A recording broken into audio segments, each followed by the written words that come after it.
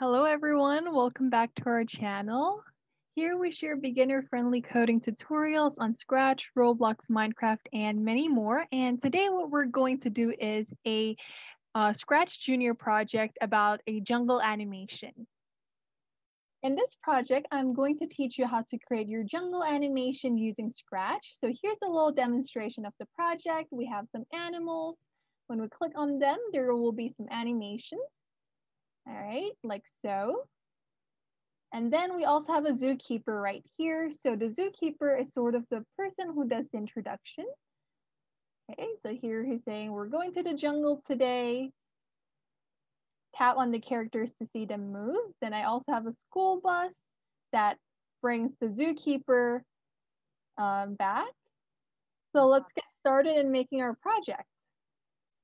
We'll start by adding a zookeeper in our project. So here I have chosen Tick to be my zookeeper. Now what I'm going to do is I'm going to use my painting tool to give him some hat and some clothes. So I'm going to click on my painting tool right now and I'm going to first start off by giving him a hat. So here I have uh, Tick's hat ready. Now the next thing I'm going to do is also draw a shirt for Tick. Okay, and the last thing I want to do is I'm also going to go ahead and add some zookeeper boots for Tick. Okay, now that I have added all of the things that we want the zookeeper to have, I'm gonna click on the tick mark and place him in our project. I'm gonna place him in the bottom left corner. Now I'm gonna go ahead and add in the jungle background. Right here. Okay, and the next thing I'm going to do is I'm going to add in the bus character so that um, it can be uh, shown right here above tick.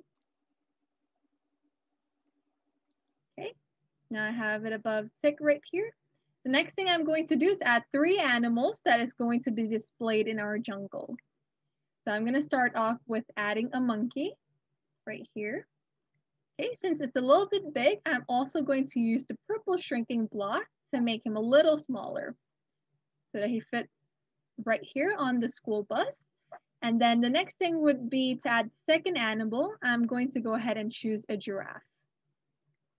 Okay, so again, the giraffe would need some shrinking. So let me go ahead and shrink it and put it right here. And then add in my third animal, which is going to be a snake.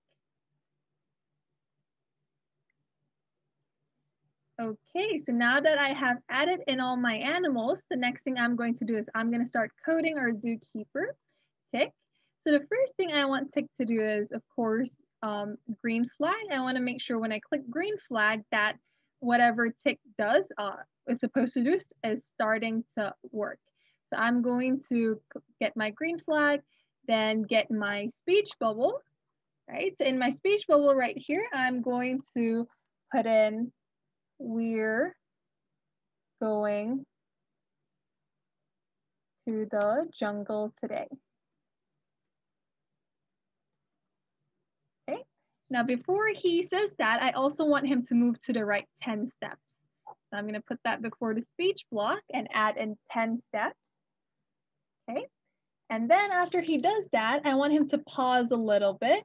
So I'm just gonna put in two units for the time and then put in another message. So in this message, I'm going to basically provide the instructions on how to use our animation. So I'm going to say tap on the characters to see them move.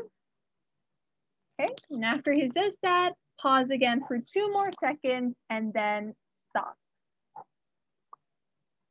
All right, now we're going to go ahead and code the bus in our project so that when we click on the bus, it moves forward a little bit, pauses for a while, and then sends a message to Tick so that Tick can disappear. All right, so to send a message, we would need the send message block. So we're gonna first start off by going to our school bus sprite, get our event when character tapped, and then go ahead and say, all right, when that happens, we wanna move to the right two units, and then send a message to our zookeeper. So that would be again another event, and I'm gonna choose the orange envelope. After I do that, I'm going to wait for four seconds and then I'm going to go ahead and just move to the right for 10 steps and then disappear and then stop. So I'm going to go to my purple block to get the disappear block right here and then get in my stop block. So the reason we want to send our zookeeper a message is that so when he opens it, he says goodbye. So we're going to get the open message block. All right. And then I'm going to get my speech bubble right here that we just got earlier. And I'm going to say, I gotta go have fun. Okay, so when he says that, we're going to go ahead and put in some time blocks again. So we're gonna put in three this time. Okay, so three. And then now when we put in that block, we're going to get the move up block. So it looks like he's moving into, move going into the school bus. Okay, making sure he also disappears. And then we can finally put in the stop block. Now that we've coded both the bus and the zookeeper, it's time to code the animals. So I'm going to start off with my giraffe. Again, I'm going to get my character tapped event and I'm going to use the repeat block right here. So that's repeat four times because I have the number four. What I'm going to do is I'm going to use my turnaround block. Okay, so first turn to the right side, then the left side for two, Okay, and then back again at one. All right, so that's for my giraffe. Now moving on to my monkey, I'm going to say when character tapped, I'm going to make it go to the right side for three units and then move down for five units. Okay, and then also some turn turning block. So I'm going to use turn right, two, okay, and then some hop block. Okay, again, I'm going to use two, so I'm not changing anything. And then I'm going to do move to the right 14 times, uh, 14 units, and then disappear. Of course, we need our stop block. And lastly, I'm going to go ahead and code the snake. Now for the snake, again, same event when character clicked, and I'm going to make it move to the right by eight blocks eight units, sorry, and then return back and then stop. Alrighty, so let's have a look at our final project now. All right, so we're gonna go ahead and of course, click on our green flag. So we have our zookeeper here. We're going to the jungle today.